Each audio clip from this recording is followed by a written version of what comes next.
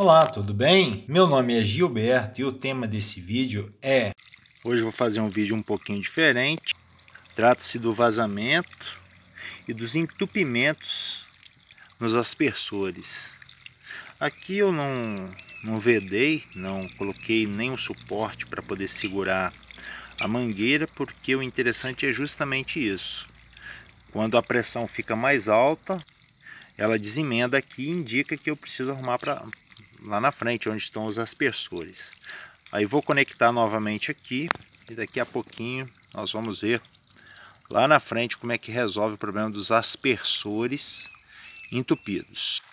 O ideal é que todos os aspersores estejam funcionando dessa forma, mas alguns simplesmente não funcionam.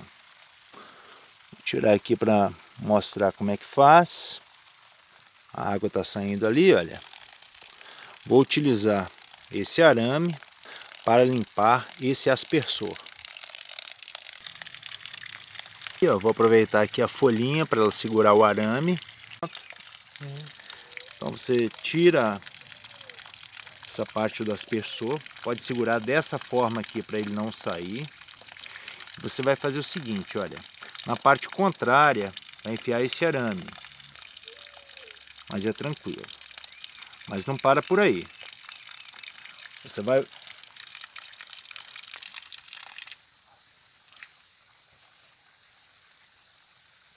Inverte ele aqui nessa posição para verificar se a limpeza foi boa. Quando ele dá essa vazão é porque a limpeza foi legal. Agora é só você retornar o aspersor e ele vai voltar a funcionar corretamente.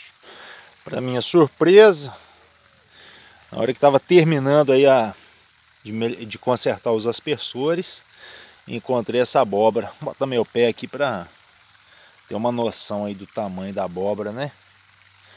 Valeu!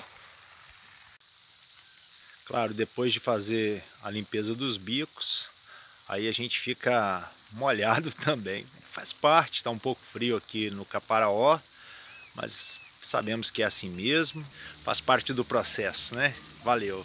Inscreva se você ainda não é inscrito, deixe seus comentários, se gostou do vídeo, deixe seu like, compartilhe o vídeo e aprenda, pratique e evolua. Um forte abraço!